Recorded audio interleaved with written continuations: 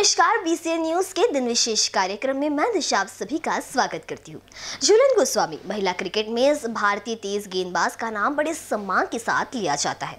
महिला one day cricket इतिहास में सबसे ज़्यादा विकेट लेने का रिकॉर्ड झूलन गोस्वामी के नाम ही दर्ज है। आज तक उनसे ज़्यादा विकेट को कोई दूसरी गेंदबाज नहीं ले सकी। झूलन के तेज गेंदबाज बनने की कहानी काफ़ी रोचक है।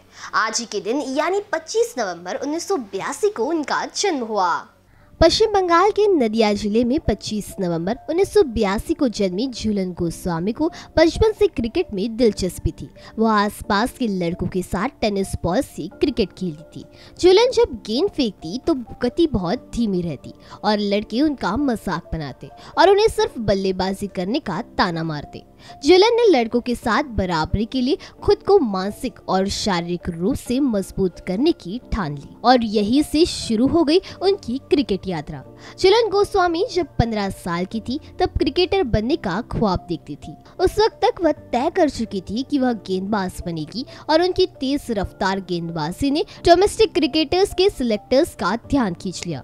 उन्नीस सौ सत्तानवे के महिला विश्व कप ने उनका टीम इंडिया के लिए खेलने का जुनून बढ़ा दिया। डोमेस्टिक क्रिकेट में तेज गेंदबाजी से तहलका मचाने वाली झूलन को पहली बार वुमेन्स नेशनल टीम में इंग्लैंड के खिलाफ जनवरी 2002 में वनडे सीरीज़ में मौका दिया गया। झूलन गोस्वामी भारत की सबसे तेज गेंदबाज है।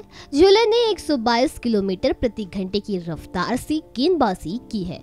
विश्व में सबसे तेज गेंदबाजी करने का रिकॉर्ड ऑस्ट्रेलिया की पूर्व क्रिकेटर कैथरीन फिसपैट्रिक के नाम है। कैथरीन सबसे तेज 125 किलोमीटर प्रति घंटे की रफ्तार से गेंदबाजी करने वाली पहली महिला गेंदबाज है।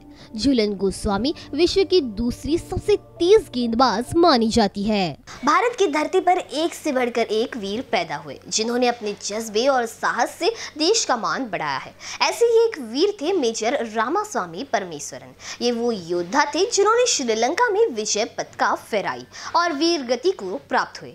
मेजर रामास्वामी परमेश्वरन श्रीलंका के ऑपरेशन पवन में शहीद हो गए और उन्होंने भारत सरकार का युद्ध काल में दिया जाने वाला सर्वश्रेष्ठ सम्मान परमवीर चक्र प्राप्त किया। आज के दिन उन्नीस सौ सतासी में उनका निधन हुआ था। मेजर रामास्वामी परमेश्वरम का जन्म 13 सितंबर 1946 को बॉम्बे, महाराष्ट्र में हुआ था। उनके पिता का नाम के एस रामास्वामी और माँ का नाम जानकी था। उन्होंने स्कूली पढ़ाई एसआईएस हाई स्कूल मुंबई से उन्नीस में की। उसके बाद उन्नीस सौ अड़सठ में एस कॉलेज से विज्ञान में ग्रेजुएशन किया। मेजर रामास्वामी 1971 के युद्ध में पाकिस्तान के खिलाफ लड़ने वाले सैनिकों के साहस और बलिदान से प्रेरित थे। इसलिए उन्होंने 1971 में ऑफिसर्स ट्रेनिंग एकेडमी ज्वाइन की। वहाँ से 16 जून 1972 में वहाँ पास हुए। इसके बाद भारतीय थल सेना की सबसे विख्यात पंद्रह महार रेजिमेंट में वह कमीशन ऑफिसर के तौर पर नियुक्त हुए। वहाँ उन्होंने आठ सालों तक अपनी सेवा दी, जिसके बाद उनको पाँच महार में ले लिया गया। पंद्रह महार और पाँच महार बटालियन के दौरान मेजर परमेश्वरन ने पूर्वोत्तर के क्षेत्र में कई उग्रवादी निरोधी अभियानों में हिस्सा लिया। जल्द ही अपने मज़बूत संकल्प और नेतृत्व के लिए वह मशहूर हो गए। परमेश्वरन के जवान उनको प्यार से परी साहिब कहते थे। उनकी यूनिट ने जब कभी भी किसी चुनौतीपूर्ण मिशन को अंजाम दिया, उसमें वह आगे आगे रहे। उनकी बहादुरी, साहस और दृढ़ निश्चय की चर्चा सबकी ज़ुबान पर थी।